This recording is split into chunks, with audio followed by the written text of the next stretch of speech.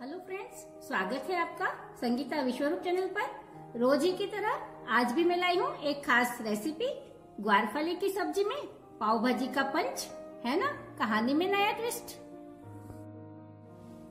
तो आइए फ्रेंड्स शुरू करते हैं ये नए फ्लेवर वाली गवारफली की सब्ज़ी बनाना।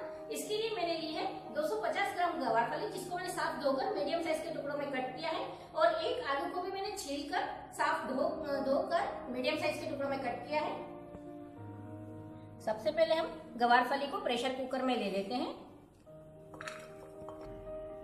और एक आलू इसको छीलकर मीडियम साइज़ में कट किया है। पानी में डाल के रखा है। पानी के साथ ही ले लेती हूँ।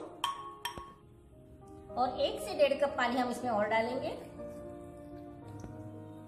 और अब हम इसमें डालते हैं थोड़ा सा हल्दी पाउडर, पिंच और थोड़ा सा नमक मिक्स कर देते हैं। और अब मैं इसको लीड लगा देती हूँ। कुकर को मैंने गैस पर रख दिया है और इसकी हमें एक सीटी लेनी है। ओवर कुक नहीं होना चाहिए, इस बात का हमें ध्यान रखना है। फ्रेंड्स एक सीटी हो गई है और कुकर में थोड़ा ठंडा हो गया है, इसे खोल के देख लेते हैं। तुरंत ही हमें कुकर को खोल लेना है, जिससे कि सब्ज़ी ओवर कुक ना हो।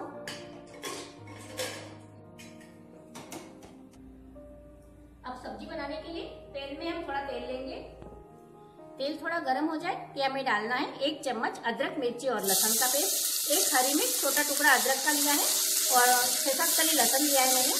आप ये इसको हम थोड़ा सा भून लेते हैं और आप यदि लहसुन का फ्लेवर अवॉइड करना चाहते हैं तो आप इसमें अदरक और मिर्ची ले सकते हैं। हींग और जीरे का फ्लेवर भी आप दे सकते हैं।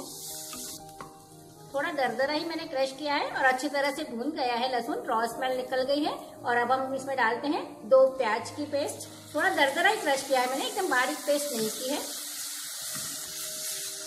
लगभग दो मिनट के लिए मैंने इसको अच्छी तरह से भून लिया है, प्याज को। सारा कच्चा स्वाद, कच्चा फ्लेवर इसका निकल जाना चाहिए। तभी कोई भी ग्रेवी बहुत अच्छी लगती है। और अब हम इसमें मिक्स कर देते हैं थोड़ा सा हल्दी पाउडर।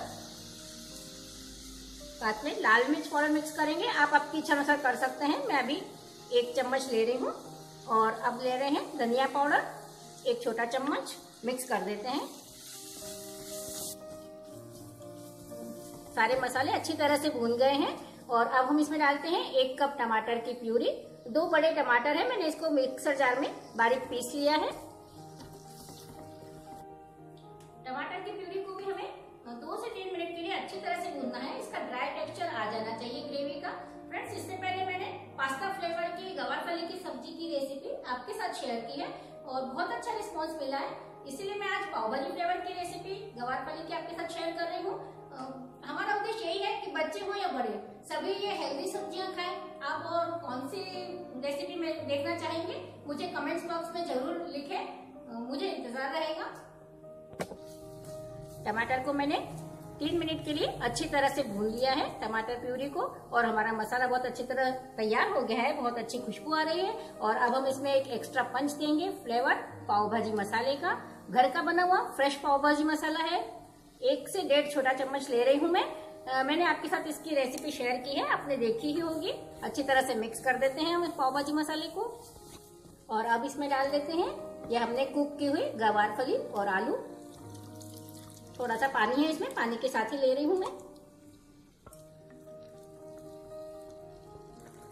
सब्ज़ी को मिक्स कर दिया है ग्रेवी में, और अब हम इसमें डालते हैं थोड़ा सा नमक स्वादानुसार। पहले हमने डाला था, उसी बात का ध्यान में रखते हुए थोड़ा सा नमक और हम इसमें मिक्स करेंगे, और धीमा कर देते हैं गैस को, और ढककर हम इसको दो मिनट के लिए और कुक करेंगे, जिससे कि सारे मसालों के फ्लेवर सब्ज़ी में अच्छी तरह से मर्ज हो जाए।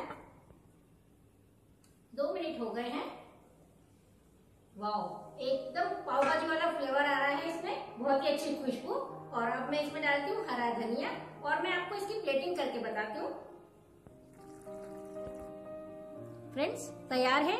एकदम नए फ्लेवर की पाव भाजी फ्लेवर में गवारफली की सब्ज़ी नए स्टाइल से बनी हुई। आपको मेरी ये रेसिपी पसंद आई हो तो आप इस रेसिपी को लाइक कीजिए और मेरे चैनल संगीता विश्वरूप को सब्सक्राइब कीजिए। थैंक्स